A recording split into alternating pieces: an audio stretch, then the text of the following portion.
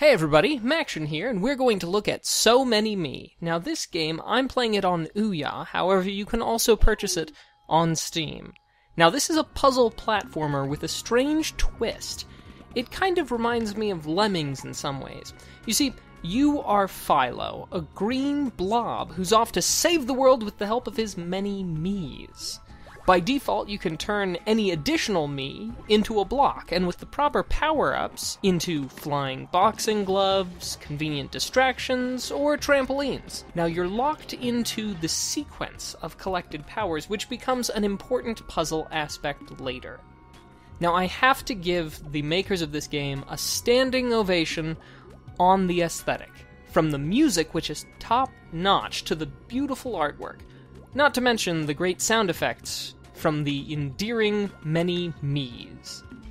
Now, the story is quite comical at times, often poking fun at the generic game narratives that we see so often. And all of this bundled together gives it a look and feel that might convince you that it's designed for younger audiences, but that's how they're going to get you. Because it is quite difficult, even for well seasoned puzzlers. Now, as we know, the most important thing for a platformer is controls. And I have to say that I'm very pleased with the controls. 99% of the time they work grand, and even though they are a touch sloppy, it rarely gets in the way. But without a doubt, the most difficult part, and the thing that will have you boiling with rage, are the random elements during boss fights. Now, with that being understood, there will be plenty of tight spaces, tight maneuvers, and the frequent auto-saving feature that the game has mitigates the frustration of the setbacks you will no doubt encounter. It wouldn't be a platformer without some of those hair-pulling moments. Perhaps the greatest lesson in So Many Me is that of thinking backwards. That is the key to your success.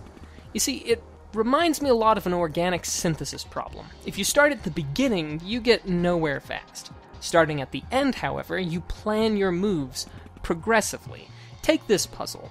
You need lastly to teleport, but before that to distract, and before that, fly. With that combination in mind, you now know the sequence of power ups and can plan your path. This lesson of thinking backwards through the puzzles is a hard learned one for one important reason. The puzzles, in large part, are skippable.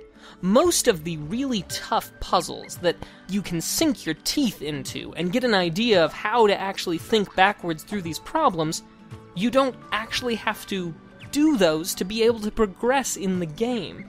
Just to get things like the um, extra abilities or the costumes.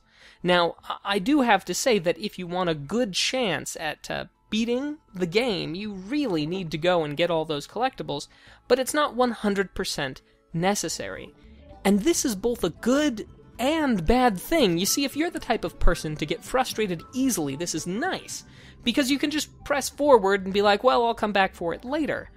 But at the same time, you're missing out on an important lesson that will help you later on in the levels.